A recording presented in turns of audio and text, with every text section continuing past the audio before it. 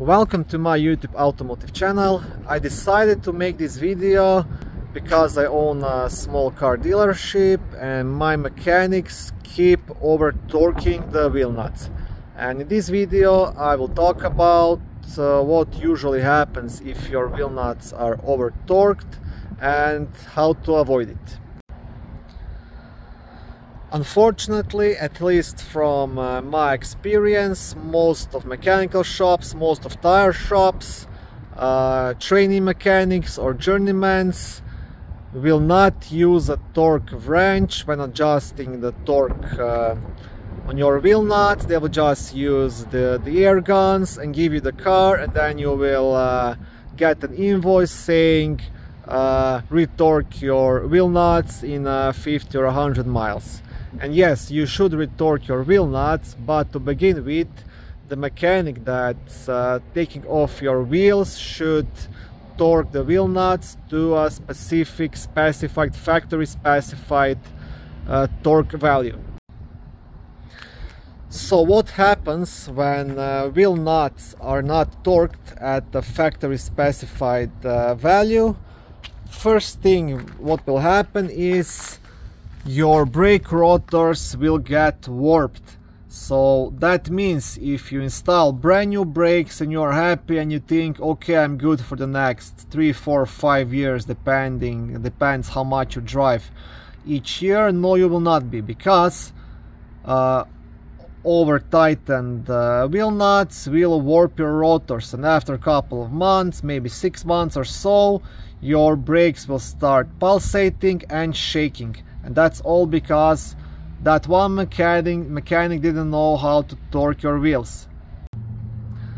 Second thing that will happen, the thread on the wheel studs will also get stripped, which will make them weaker and prone, prone to fracturing and eventual failure. So that means that even your uh, wheel hubs, wheel hub assemblies will not last as long as they should every vehicle has a specific factory specified uh, torque value of the wheel nuts. So that means when you are changing the tires, changing the brakes, every time you take off your wheels, when putting the wheels back on, these wheel nuts have to be uh, torqued as per factory values.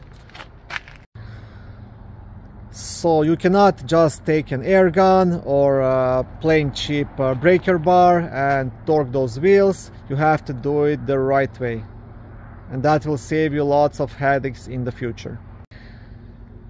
It took me quite a long time to actually figure this one out because uh, most of the cars I get on my car a lot, even with a good service history, always have brake shakings, brakes pulsating, and, and I was always wondering why this happens. Why? What's what's the reason for for this? Because if I if I see in the service history that the brakes were done maybe six months ago, then those brakes should be good.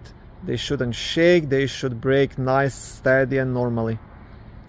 And then after doing lots of research and talking with bunch of mechanics, I figured out what is happening. I started testing the torque values on the wheels and there you go. Now most of mechanics will not agree with me. Find a reliable mechanic who knows what he is doing or just buy a, a torque uh, breaker bar, a wrench and double check your wheels every time after your vehicle is serviced. Okay, so this is the torque breaker bar. You can pretty much buy it for 25-30 bucks, the cheap one like this. It will do the work for you. Now, i am gonna try to show you right here. You have the you have the values, and you can adjust the torque value. So all you have to do is pretty much loosen it up here, and then you can just twist this and set it up at your value and then tighten it, tighten it up again. And when you are tightening the wheel nuts this breaker bar will click once you tighten them enough uh, to meet your value. And that's pretty much it. That's all you have to do. Once it starts clicking that's it this is the cheap cheap uh, bar. You can buy maybe a better one for 50 or 100 bucks. Some of them even, even have like a digital displays and stuff like that. Uh, like professional professional shops should have like uh, even the air guns which uh, show uh, values of the of the torque.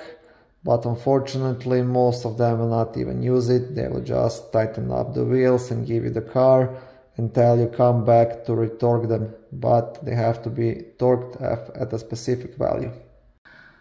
Now I will even show you on my computer like every vehicle will have uh, differently specified torque values.